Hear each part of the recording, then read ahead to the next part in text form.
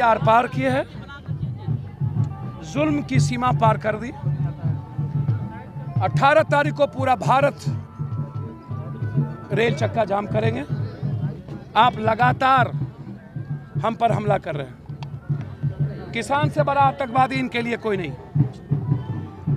ढाई सौ से ऊपर किसान मर गए। पुलवामा में जवान शहीद हो गए। आज तक उसे नौकरी नहीं मिली, पैसा नहीं मिला। किसान मर गए, उसके घर पर एक बार भी नहीं गए। एक रुपया नहीं दिया, बोला कि हम किसान को नहीं जानते कौन मर गया। ये सदन में कृषि मंत्री ने कहा। जैसे नीतीश कुमार ने कहा, कितने अपराधी हमको पता नहीं, पत्रकार हमको बता दे। जबकि सीडीआर में इसकी रिपोर्ट है कि 21 मंत्री पर अपराधी का मुकदमा दर्ज है। उसी तरह नरेंद्र मोदी जी को आज तक जानकारी नहीं मिली कि 250 किसान कब मर गए। नरेंद्र मोदी जी सदन में गुलाम नबी आज़ाद के लिए आँसू बहाते हैं, लेकिन किसान के लिए नवरीत पर गोली लगी उसके लिए और पुलवामा के लिए कभी आँसू नहीं बहाते। और उल्टे ही भारत में पाकिस्तान और ही चीन पर रहने वाला आतंकवादी अब नहीं रह गया। भारत में सबसे बड़ा कोई आतंकवादी नरेंद्र मोदी जी के नज़र में और नेताओं के नज़र में है तो आश्चर्य होगा, वह सिर्फ़ किसान बच गया है। इसीलिए किसानों ने यह तय कर लिया कि हम इक्कीस नहीं, तिरसठ फ़सल पर हमको एमएसपी चाहिए। तीनों कानून को वापस लो। हमें बाज़ार दो, हमें मंडी दो, हमें खुद राइट दो।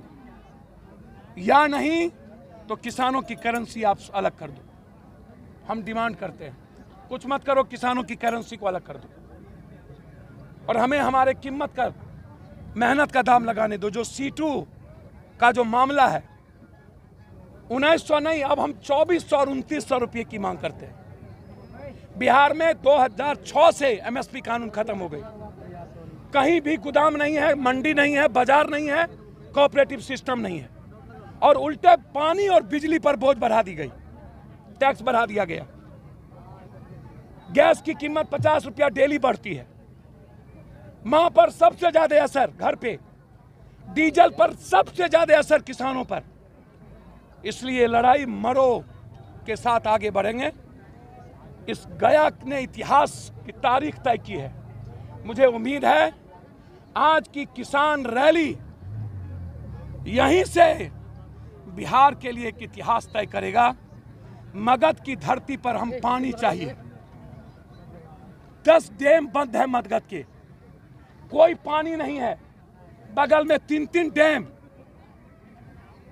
जो आज किसानों ने मुद्दा उठाया उस तीनों डैम में पानी नहीं है। डैम का नाम? बरगामा? पैन। मजगामा पेन। तिलैया डैम। अजटनी पैन। और जटनी पेन। डैम। वादा करने के बाद आज तक पानी नहीं मिली मगध को। इस पानी की लड़ाई आर पार्क से हम यहाँ से शुरू करने आए हैं।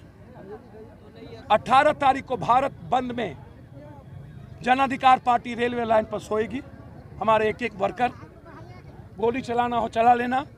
जब तक ये कानून खत्म नहीं होगा और 21 नहीं, तिरसठ फ़सल पर एमएसपी लागू नहीं होगा, तब तक ये आंदोलन चलेगा जितनी गोली चलाना हो चला